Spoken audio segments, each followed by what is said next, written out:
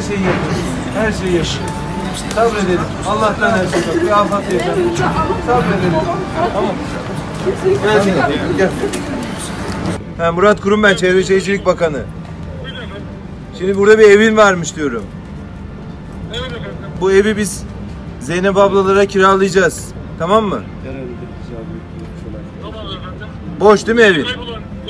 Evet evet eşi kaybolan eşi kaybolan Zeynep ablaya. Sen bu, bu evin anahtarını falan filan hemen getir. İçine bir şey yapılması gerekiyor mu? Açık mı şimdi ev? Tamam. Olmazsa bir taşırız sonra içindeyken tadilat yapılır. Ömer Bey, boyacı şu bu ne lazımsa ayarlayalım da. Bugün buraya taşıyacağız tamam mı Zeynep ablayı? Anlaşıldı efendim. Tamam. Ben başkanımla irtibata geçiyorum. Tamam. Ondan sonra sürecini biz bizim bakanlıkla yürütürsünüz tamam. E, o dükkanın olduğu yer hepsi sizin mi? Burası kayınpederimindi, kaynım var, gürümüm var, hepsi kaynatamın ortak. Ama Şimdi- benim beyim çalıştırıyordu oraya. Tamam. Başınız sağ olsun. Allah rahmet eylesin.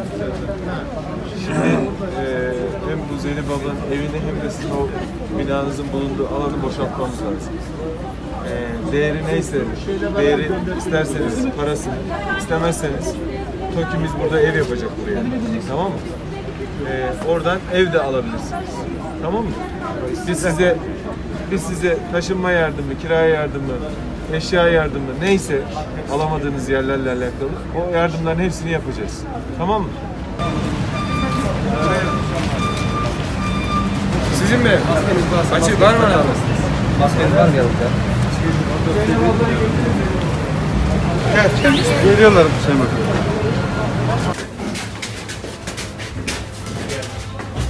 Şöyle, buraya boya, boyamız bir bakın yine eksildi de. İnşallah bugün akşama hazırlayalım. Bu yarın hazırlar. Bugün akşam, bugün akşam seni yerleştiririm. Tamam.